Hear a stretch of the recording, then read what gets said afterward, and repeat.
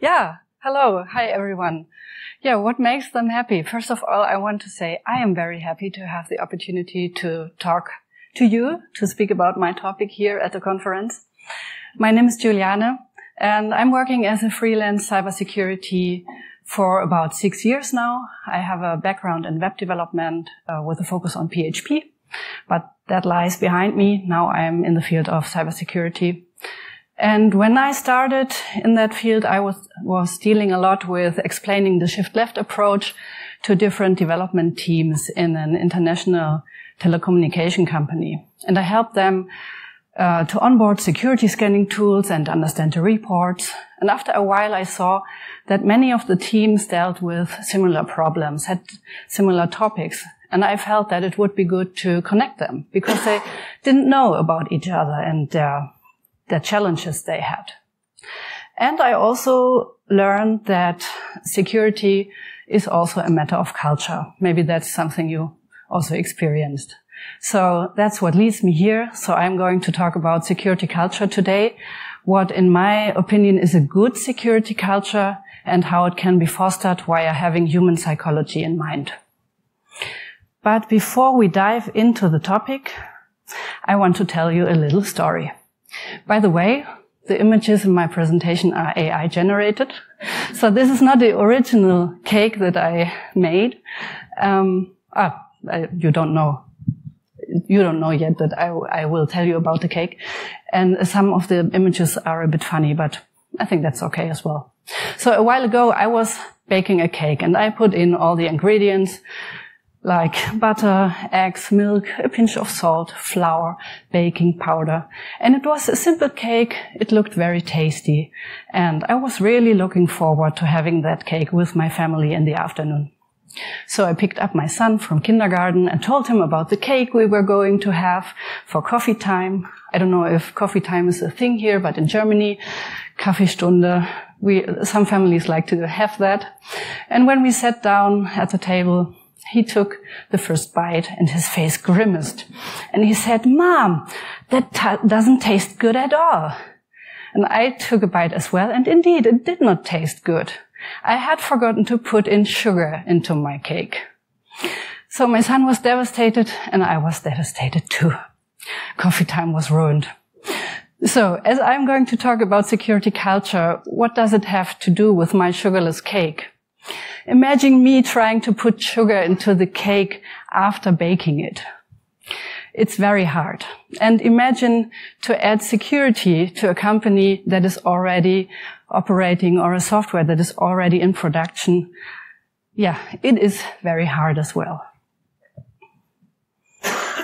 So in the first part, I want to quickly go over some observations regarding cybersecurity and culture.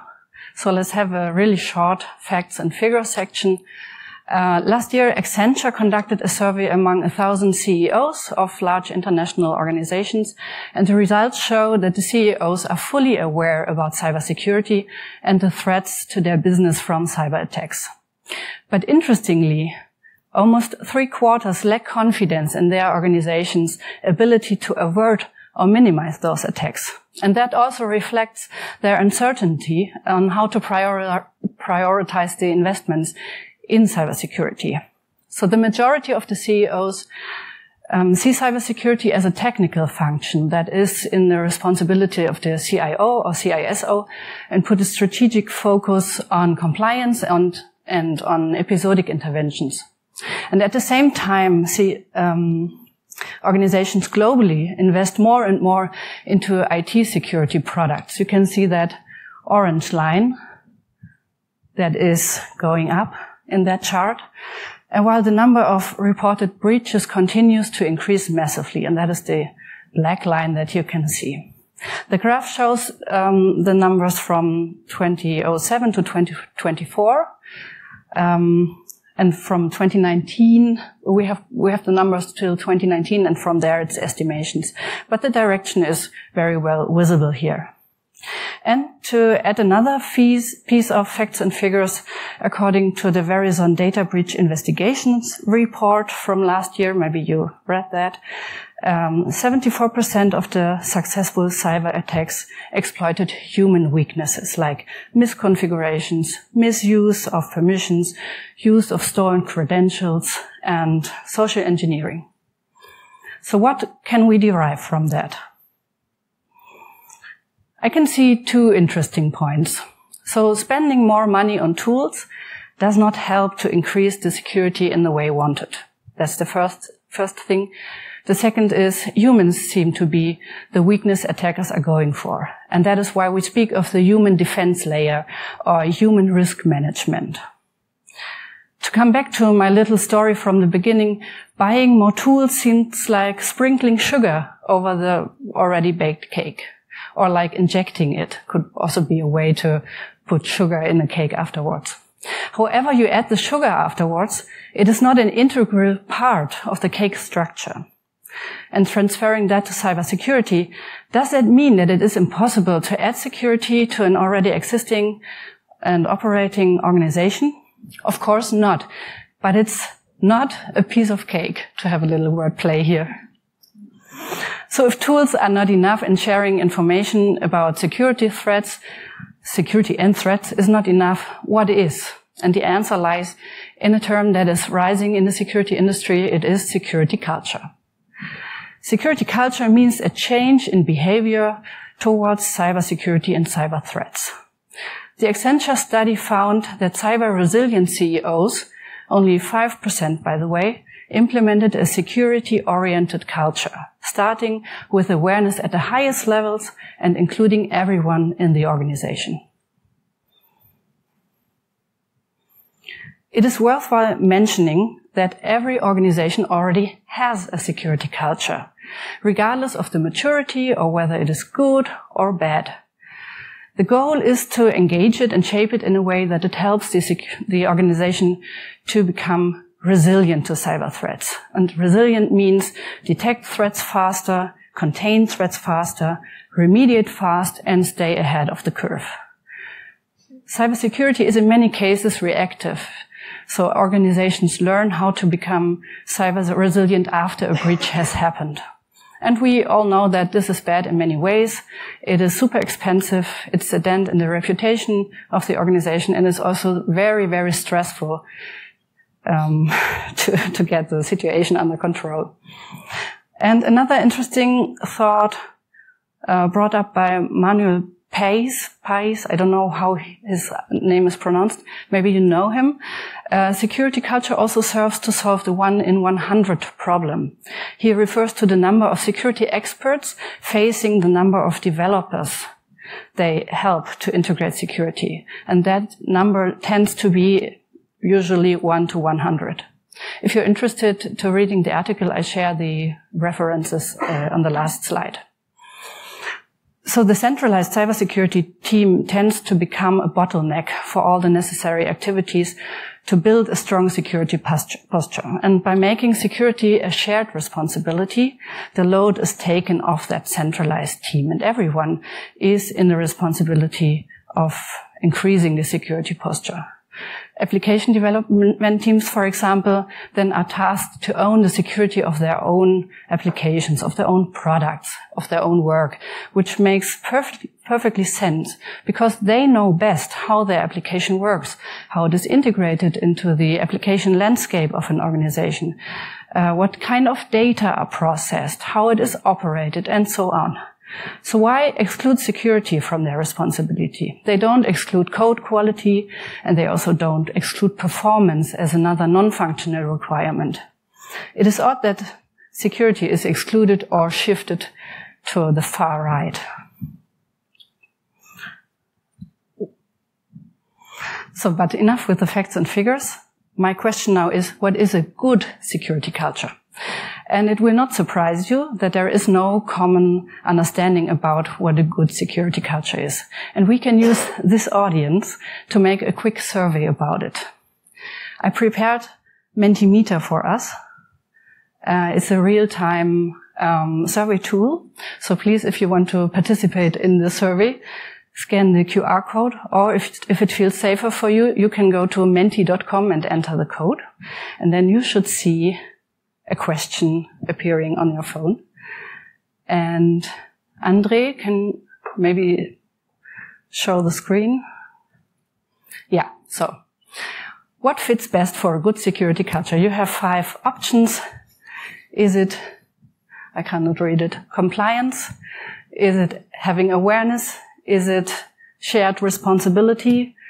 Is it establishing formal groups that can help to increase security or is it security embedded throughout the organization? Okay, I can see there are not many fans of compliance in this group.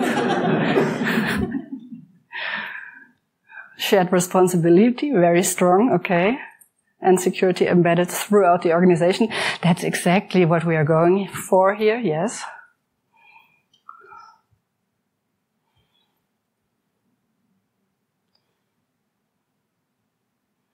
Ha. Ooh. Ooh, who's that? That's also okay. Good. I think we get a picture here. Thanks a lot. So we can uh, switch back to my presentation. So yeah, really interesting. Um, Forrester Consulting has conducted a study um, about security culture in global organizations, and I I show you the result, results now. The answers given in the in the survey were actually totally individual, but Forrester made categories from that, and those are the categories I showed you in our survey. Yeah, and uh, what we can see is that they were fans of compliance. Compliance is uh, the strongest, um, strongest uh, way for a good security culture in their opinion. On the second position, we have having awareness and understanding of security issues, issues with almost a quarter of the answers. On the third place, recognition that security is a shared responsibility. And on the uh, fourth position, the establishing the formal groups. And on the last position, security embedded throughout the organization. So it's really quite the opposite of that what we saw in our results. That's interesting. And we can see from those results that the understanding of the term security culture is diverse and that there are different approaches to implement a security culture. The most holistic one is the last one, where security is embedded throughout the organization and what we are fans of apparently. That sounds good, but what does it actually mean? At what point is a security culture embedded throughout the organization?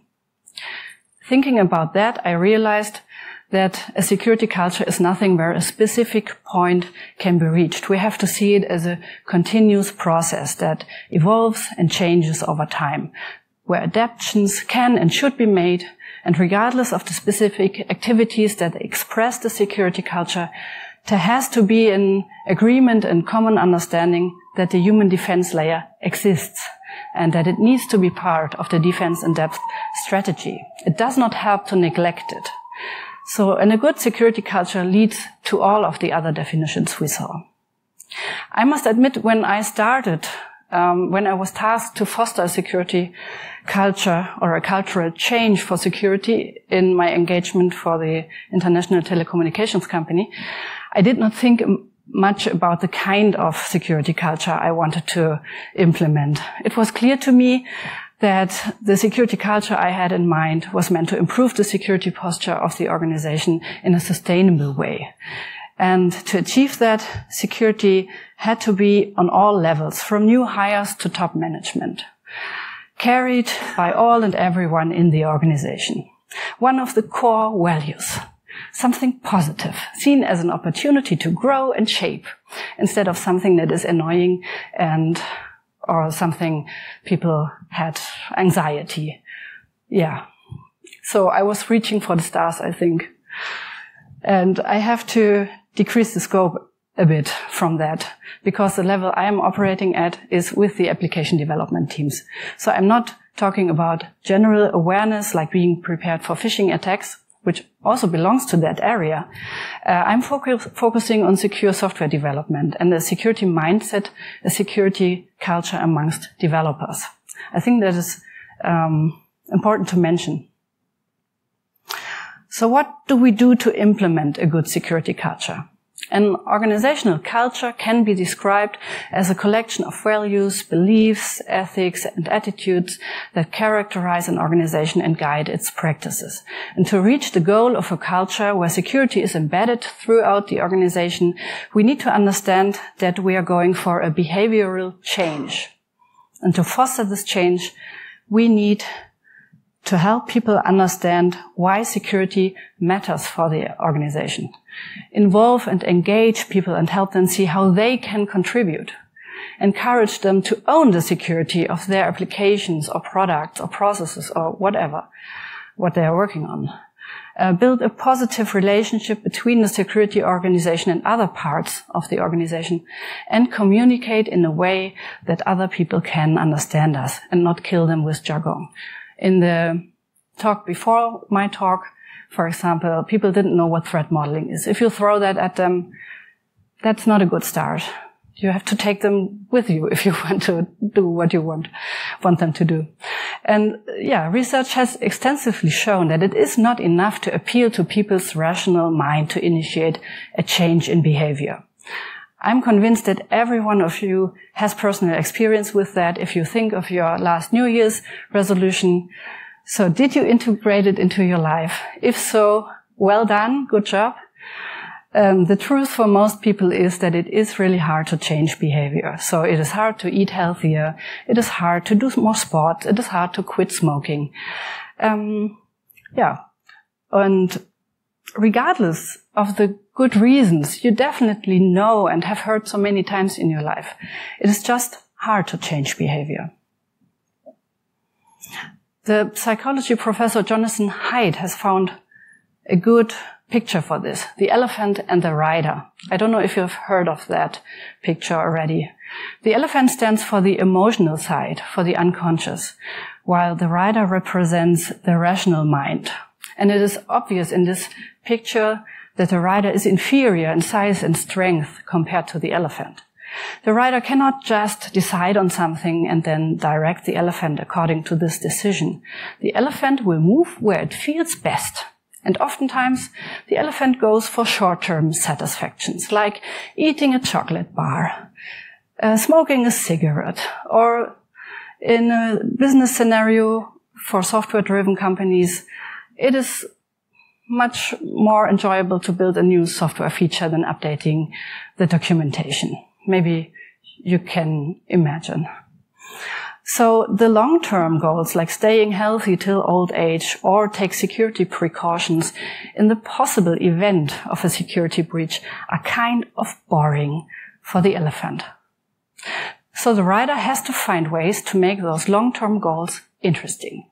And in our endeavor to foster a security culture, this means for us that we need to find ways to turn the rational security is important for the organization into something that catches people's interest and makes it not only a rationally understandable statement, but something they can experience, they can relate with, they can integrate into their own value system.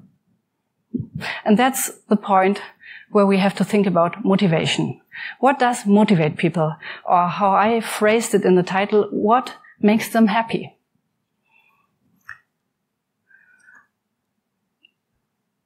So, ah yeah, okay.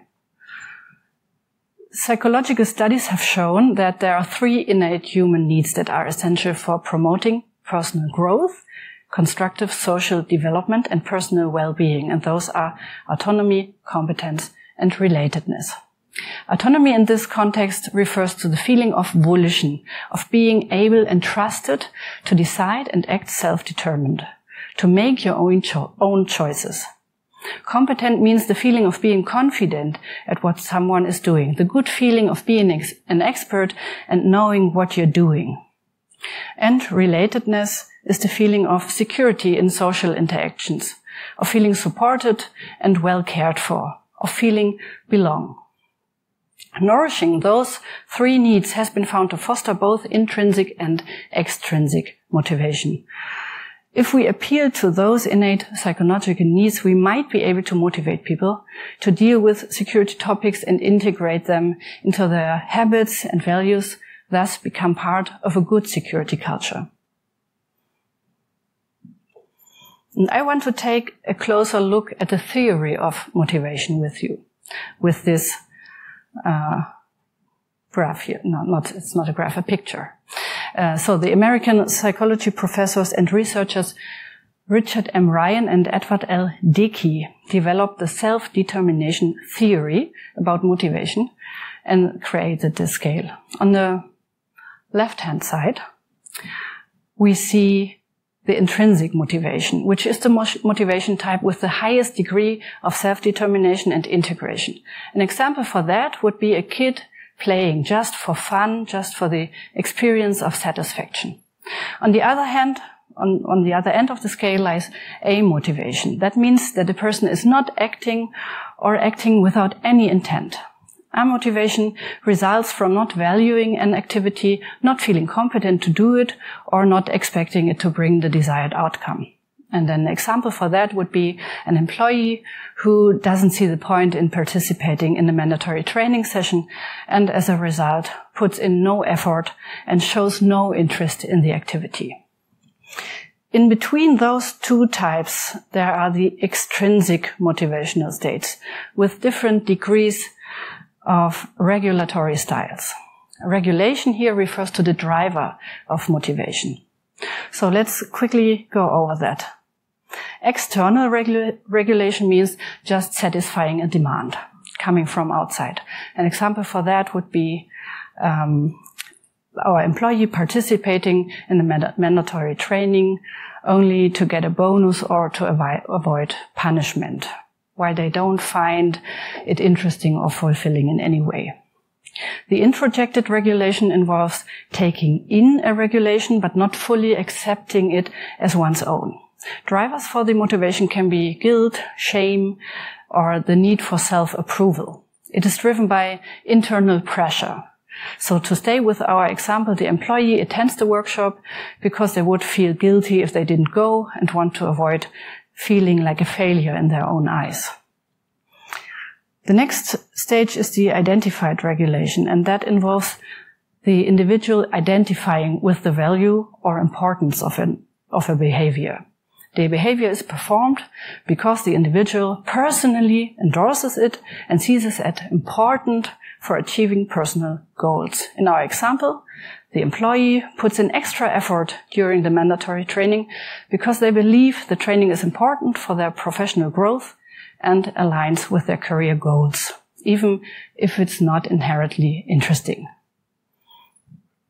And the integrated regulation is the most autonomous form of extrinsic motivation, while, where the behavior is fully integrated with the individual's self-concept and values. The behavior is performed because it's congruent with the individual's other values and needs. In our example, the employee attends the workshop because continuous learning and self-improvement are integral to their identity and long-term personal and professional goals. The self-determination continuum, that's what that is called, has been investigated in different studies with school children, and the results show that the more autonomous extrinsic motivation is, the more engagement and better performance could be seen. And reading about those studies, I felt the truth of those outcomes. And maybe you can relate too, um, and think of situations where control and pressure decreased your will to contribute while the freedom to make your own, own choices and create something, find your own solution for a problem motivated you. So learning about that scale, I understood that we are operating in the field of extrinsic motivation with different degrees of regulation. And I say that because initially I thought about how to awaken our developers' intrinsic motivation to deal with cybersecurity. So on the level where the kid is playing just for fun. But I think it's appropriate and adequate to uh, work to operate in the field of extrinsic motivation. I wouldn't go that far that it is really intrinsic. Um, and of course, we want to shift what direction is left as far as possible with our message. Uh, security is important for the organization. Ideally, we go for those two states, the yeah, uh, identified and the integrated regulation. That would be our goal to operate here. Yeah. So how do we motivate people to contribute? Our first goal was to break down barriers. And it is often said that cybersecurity resides in an ivory tower, and from time to time the security experts descend and speak in tongues about findings, CVEs, and assessments, and they demand the integration of various security scanning tools and ask for architectural documents. So the application teams usually defeat those demands uh, and requests with reference to already defined timelines and budgets for the delivery of business requirements, and nothing moves forward in this scenario. Breaking down those barriers meant for us to build a relationship between the security team and the application teams on eye level. We might be the security experts, but they are the experts for their application. So we have to work together to improve security. We wanted to show the application teams that we weren't their enemy, but instead their helpful friend, helping them to understand and to fulfill the security requirements defined by the organization.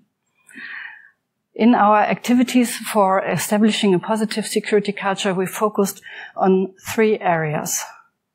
So building a positive relationship to the application development teams, to the developers, providing guidance via training and knowledge sharing, and facilitating peer-to-peer activities and building a community. And I will show you what we did in those three areas. So in the beginning, we really had a lot of one-to-one meetings with the application teams where we explained the shift left approach for secure software development and we enabled them hands-on to integrate SAST scans wherever possible. It went so far that we asked for repository access and triggered the scan on our own Jenkins server. And we, we really try to, to get that going. And then, of course, in the next step, we help them to understand the findings and the reports so they could start analyzing them and remediating them. It was really important to help them to, to, prioritize the findings because when you scan a legacy application for the first time, you get very likely hundreds and thousands of findings. And that is really demotivating for the development teams. So it was important for them to understand that the number can be decreased with a really structured approach. approach. And we did not just leave them with a ton of findings, but we developed a remediation strategy with them. We could always see that this took a load from their shoulders and they appreciated it really a lot when we took the time and dove into the code with them. And that was usually the point where the ice broke. When they realized that we understand the code, that we can read it, and that we really know what we are talking about. So this hands-on work really helped us to build trust. And as much work as this was for us at the beginning, that meant sometimes more than 20 reoccurring meetings per week with 40 development teams. That was really a lot. It paid off for the years to come. The connections we built there, and that's now five years ago or six, um, the connections are, are, still in place and reliable, even though there was a bit of fluctuation in all of the teams. In the area of guidance, we tried different things. We offered at the beginning an in-person training about the foundations of secure software development. And this went well for a while, but it was not mandatory. So after a while, it was hard to find enough participants for that. And at the same time, the effort on our side, uh, on, as a security team, for preparation and organization of the trainings were enormous. So we paused that. And to better scale the training, we tried something else. We bought a hands-on training software um, and although the quality of the training software was really good and it, it was hands-on and you could really um, try to break into something and then afterwards fix it. So it was really, um, yeah, hands-on training. Yeah, although it was very good, the same problem remained here. It was not mandatory. And so people did not take the time to complete it. And so this tool remained almost unused in our tool landscape, which is really sad. Um, and this is another perfect example for trying to solve a problem with a tool before having the right mindset established in the organizations. But okay, that's a lesson that we had to learn and money that we had to pay. we recently took another leap with in-person training and piloted an in-person threat modeling training for a small group of security interested people. And this is aligned with our overall plan to integrate threat modeling in, as one of the core activities for security assessments. And we are even trying to introduce threat modeling into the agile software development process. So this is, is a plan for this year to, to try that. And our goal is um, that the people we trained with threat modeling then take over the task for other teams as well, not only for their own team, but help other teams to do threat, mod- threat modelings and, um, yeah, to, to take a bit over from our work. To provide guidance, we also introduced an internal newsletter in each edition, we focus on one topic that we explain as extensively as needed with own knowledge articles or references to internal or other external sources. Topics were, for example, the different scanning types like SAST, SCA, DAST, IAST, container scanning, but also topics like threat modeling, cloud security, misconfigurations, open source, things like that. At the end, of each newsletter, we place a quiz. So people can engage and show that they understood the topic. And everyone who answers the quiz correctly is then mentioned in the next edition. So we give them an opportunity to engage here and also to get public recognition. We also invite uh, people from outside of our team to write knowledge articles about their areas of expertise and we give them a platform to show their competence and get visibility in the company for their topic. The idea behind the newsletter is to skill up, but also to deliver the knowledge directly into their email boxes. So they don't have to do anything but read and click, click and read the other way around. So they don't have to go to some knowledge base or so, but they just open their email box. Good idea. Yeah, and we invited developers to inspirational sessions with speakers from outside the company. So from so ideally known security uh, people from the security world. And with that, we hope to inspire the, the application teams and broaden their horizon. And the last thing we did in that area, uh, recently we established a knowledge base um, in Confluence that was the developers wish to use Confluence for that. Uh, we document the knowledge we share there and it's also collaborative so everyone can contribute. For the third area, community and peer-to-peer activities, we established a shared communication channel in Teams and we invited people across all development teams to join the so-called Security Champions Network. We tried to implement a security champions program, um, and that is still in the making, but the name is already there. So Security Champions Network, that is already there. And in this communication channel, everyone can post, comment, or show reactions. And we make sure to post something once or twice per week. So it is lively.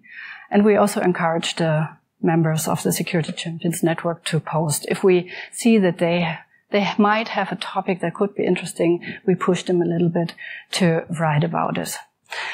Yeah, our goal is, of course, to give them a platform for um, getting in touch with each other, for showing the knowledge, and also to give them a safe space for their questions and ideas and help them to gain visibility in the network. For the latter, we initiated another knowledge sharing format uh, format besides the inspirational session, we have the so-called developer session. And here a member of the network presents in a hands-on demo session on their security topics.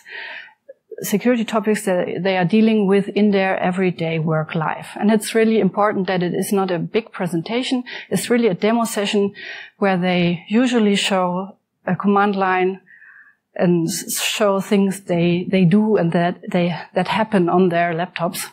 Um, And that is intentionally that way because we don't want them to spend too much time creating a presentation. We have a, presentation template where we can fill in some best practices, but the focus really is on the demo.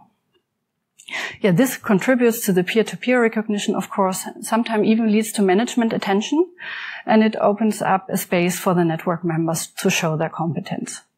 The participation rate for those sessions usually is really good, and it gets even better if the presenting member invites their peers directly instead of me sending out the invitation. And to make people feel belong, we operate on a very personal level. So we welcome every new member in the channel. We mention members directly. We greet everyone by name in the meetings, even if it, if there are 30 people, we try to catch up with the list of joining in people and greet them so they feel seen. And they know that it's not an anonymous mass, but that we know them. Yeah. And from time to time, we also chat one to one with them to find out what they're currently working on, what they find interesting, what pain points they have so we can address them. And if we see that members are working on similar topics, we connect them. Yeah, this again might feel like an effort that is not very well scalable all this personal stuff. But I think we have to acknowledge that introducing a cultural change cannot be scaled from the beginning. The personal engagement builds the foundation for everything else. So going back to the psychological needs. Oh, okay. I highlighted those areas where I see a, a relation to autonomy, competence, and relatedness. Um, for example, yeah, in, in building that positive relationship to the developers and in the process, when we uh, introduced the SDLC and the scanning tools and the remediation strategy, it was important what I put here on the, on the last point to trust them to find the best technical solution.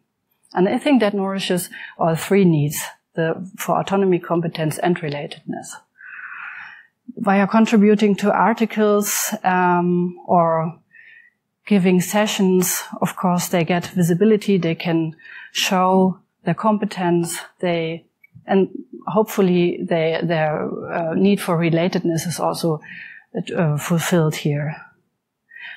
Yeah. One question might be, why do we choose the way of motivation and collaboration? There could be other ways. If you read about security culture, security champion programs, community of practice, and so forth, you learn that one of the first steps is to get management buy-in. And that sounds great. And I say that in a way that you might think, huh, it's almost like she put quotation marks. Um, it is very reasonable to have management buy-in, but what if you don't have that management support as strong as needed? How can you do all that with, without having management buy-in, uh, with the full understanding what this security culture thing is? But isn't that a reality we face? I can tell from our organization, it is a process. And a bit, I hope that you can relate to that. So leaders who know and claim that security has become one of the top priorities for business and still focus on episodic interventions and compliance. We chose in our work not to focus on management um, buy in, at first for the first activities, but we chose to start with the people who we are actually working with, the people who actually have to implement security into their applications. And we chose to shape our job as security unit in the company in a way that we engage with people instead of throwing tools and requirements at them. As humans, we know that collaboration always is easier than escalation. And of course, there are situations where escalation is necessary. But before we go that way, we always try the collaborative way. We explain, we provide guidance, we help people understand, and we help them to integrate secur- uh, security mindset into their own value system because we know this is more effective in the long run. If you burn bridges, you have to build them again for the next interaction. And that is, of course, more effort than investing in motivation and collaboration. We also learned from our own experience that culture overrules tools. At the beginning, I mentioned that companies spend more and more on security tools and still are not able to reduce the count of breaches. And it is common wisdom that tools don't solve anything just because they are there. Maybe you experience that as well. The people do with the tools. So in the last part of the session, I want to talk about how we can measure security culture. And it is obvious that it is hard to quantify. Still, we have to show that all of those act activities I talked about pay to our goal of improving the security posture of the applications and of the organization. It's not just for fun and pleasure that we, that we do all that. So security is a, security culture is a long-term strategy that needs time to evolve. And one way to measure the success of our activities is a survey that we started for the first time last year and that we are conducting every year now. In this survey, we asked the security champions we still call them like that, um, for their perception of our security services. And the results from this year, we conducted a survey in March, were encouraging. So we got the feedback that all of our provided services are used, especially security scanning and threat modeling workshops. The Security Champions Network has become the most important channel for skill up in information. Uh, last year it was a newsletter, so this changed. That is interesting because we put more effort in the Security Champions Network. Around two thirds of the respondents are sharing information provided by us with their team or a colleague. This is also good for us to know because that is the goal that they are um, distributors of the knowledge for their teams. Um, yeah, almost uh, 62% were able to apply the knowledge gained from our service. That is a point where we are not not very not 100% satisfied. We want to increase that number and find out why why they cannot apply it if they can't. Yeah, we also operate with a net promoter score. That is a thing from marketing. The question is, how likely would you recommend a product or service to a friend or colleague on a scale from 1 to 10? And our net promoter score is 47, which is in the category of favorable. That is very nice for us. Other KPIs we fill around with are the participation rate for our event formats, the engagement in the security champions network as far as we can measure that, and the number of topics we gave guidance to. And we also try to delegate, delegate security related tasks and responsibilities to the application teams whenever possible, for example, with the threat modeling skill up. And yeah, the more often this works, and we do spot checks, of course, to see if this works, the more we can trust the evolving security culture and the sweeter the cakes becomes. So, and if you're interested uh, in more detailed guidance, I can recommend that you check out the OWASP Security Champions Guide. There's a new group forming around that, uh, refreshing the topic. Maybe you know the Security Champions Playbook, and that is a successor of that. I belong to that group as well, and if you're interested, you can follow our activities on LinkedIn. That is the channel that we currently use to inform and share insights and documents. And of course, um, if you have any questions or feedback, or if you want to engage, you can reach out via that channel. And that's all I wanted to say. Thanks a lot for your attention.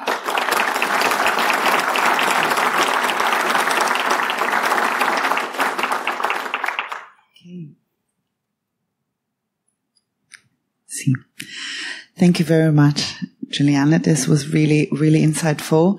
Um, I'm gonna ask cheekily the first question, um, providing obviously um, agile learning.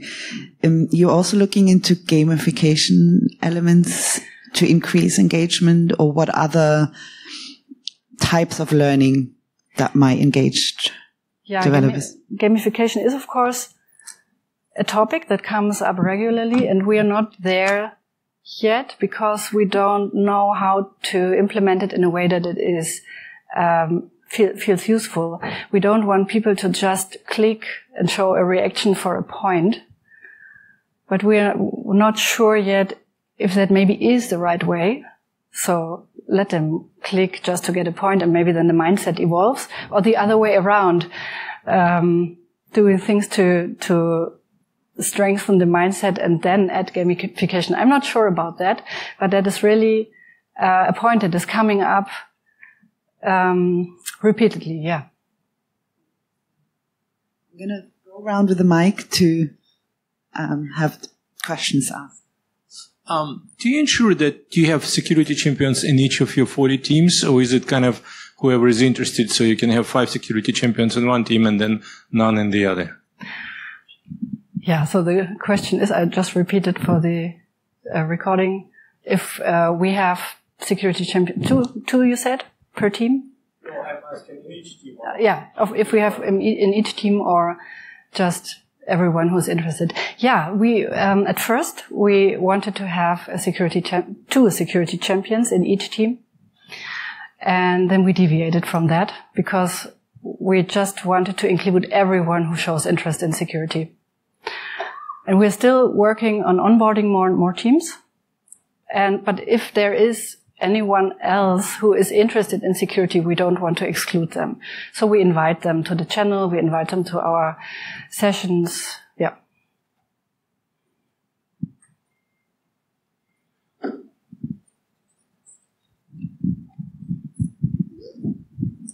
Okay, um, one point regarding the question with the product team, we also did the same thing with making it mandatory per team, two people, and on top just adding in everyone who's interested. So we also followed the same thing.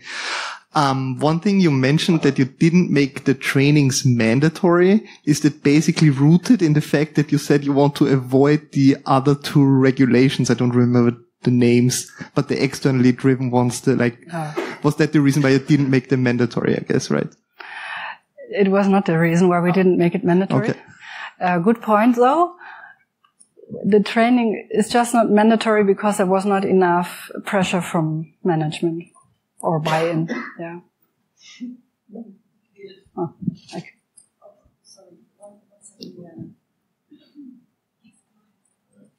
Can you elaborate on the messages for the channels? So what type of messages do you post there to encourage? What, what level is it? Is it technical or is it high level? Do you include control links to controls which you have somewhere or what, what do you post there?